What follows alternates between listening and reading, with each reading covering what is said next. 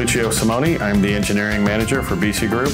In this video, we'll be demonstrating the performance inspection procedure of the LifePak 20 using the SA2010 and CS2000 current source. For the first step of the procedure, we'll be testing the earth resistance.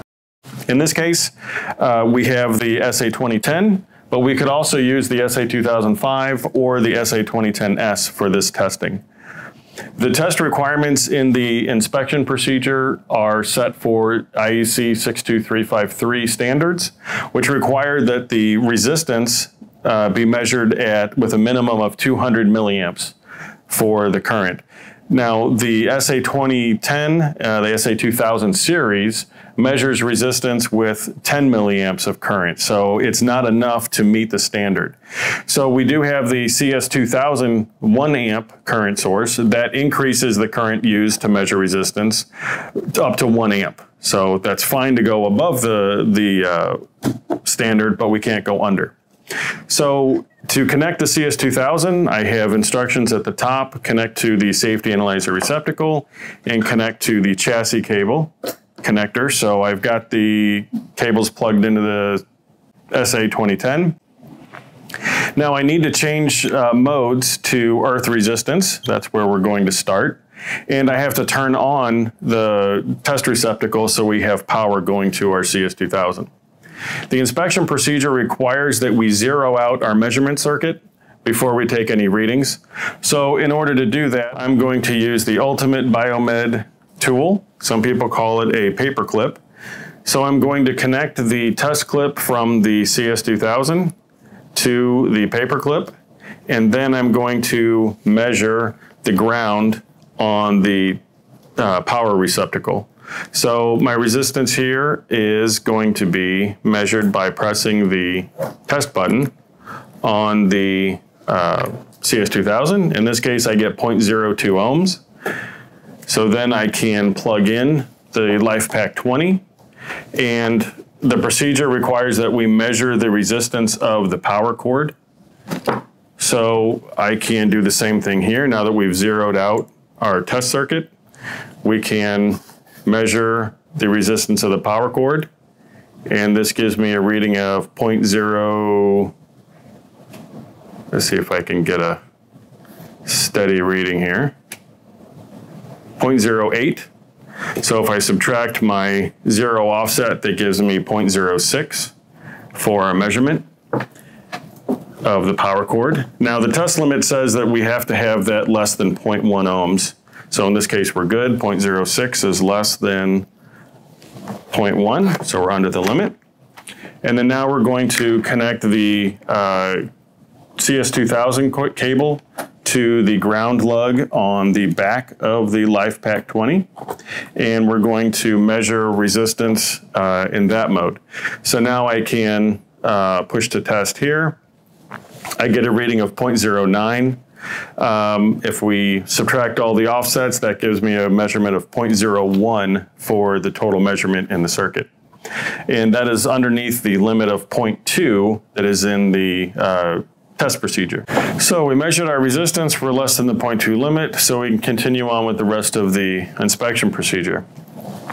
At this point, we're done with resistance measurement, so we can disconnect the CS2000, and we can disconnect the alligator clip from the back, and the power cord now needs to plug into the safety analyzer. So I'll plug in the power cord here, and then we have ECG leads for the LifePak 20. I'll plug those in. In this case, I have a three lead set. Uh, I could also have a five lead or whichever uh, that you're using. We just plug these in. And in this case, the uh, safety analyzer is a 2010. There's no ECG. So it really doesn't matter what order I plug these in as long as they're all connected.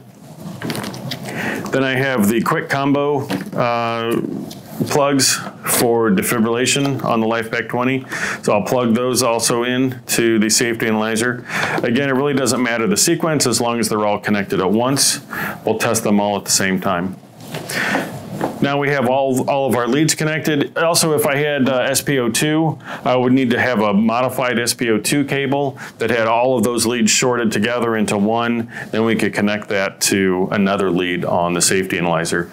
But this LifePak 20 doesn't have that. So we're just going to demonstrate what we do have. In this case, we can change to enclosure leakage. And uh, we also need to test with forward and reverse polarity, which we can change simply here on the um, SA2010. And we can see the status at the bottom. There's an LED that shows us whether it's in forward or reversed. So in order to perform leakage testing, I need to connect the chassis cable to the ground lug on the back of the LifePak 20. So there we connected the chassis cable to the ground lug on the back. And normal condition is uh, forward polarity. And we open the ground and we get a measurement of 99 microamps. And that is underneath the limit. And then we can change to reverse polarity by pressing the polarity button. It shows us we're reversed. And then we can get the measurement with reverse polarity and that is also under the limit, so we can continue on and take our measurements for the leads. So we completed the enclosure testing. Uh, now we're going to go on to lead isolation testing. We're going to apply uh, line voltage to the test leads and measure the leakage current that would uh, result in that. We can test all the leads at the same time. Uh, makes the testing a little bit more uh, streamlined.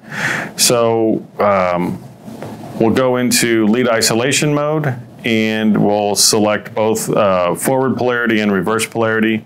We can also select the load of the AAMI load or the IEC load. In this case, we'll pick the IEC load since we're doing the 62353 testing.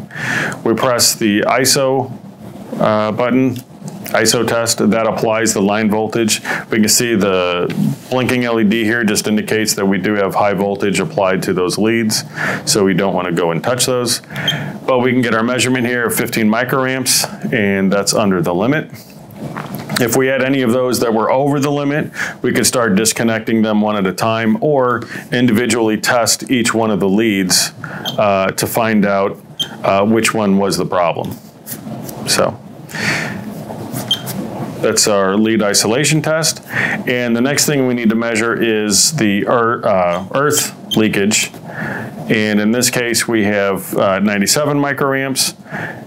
That's forward polarity. We also need to test with reverse polarity. And we have 140 or 190 microamps uh, in reverse polarity. And again, we would compare those measurements against the, against the limits, make sure that our device is safe, and we can continue on with testing. One thing we'll notice is that while we're doing earth ground resistance, we can't close the ground because in order to measure the current in the ground path, we have to open that circuit and put our meter in place. So we can't close the ground uh, during this measurement mode forward polarity, reverse polarity. Both can be tested easily. So when we're testing the uh, earth leakage, we have to have the ground open. But to create a single fault condition, uh, we're asked to open the neutral uh, terminal. So we'll test open neutral, we get our measurement, and we can do reverse polarity open neutral and get our measurement there as well.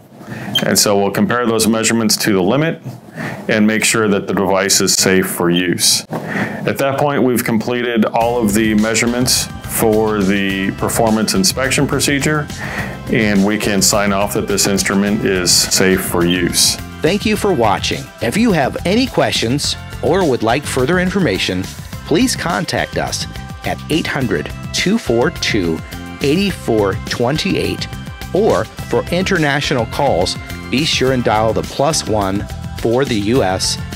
314 638 3800. Or you can email us at sales at bcgroupintl.com. For more information about our extensive line of BC biomedical products and other vendor alliances, browse BC Marketplace located at bcgroupstore.com.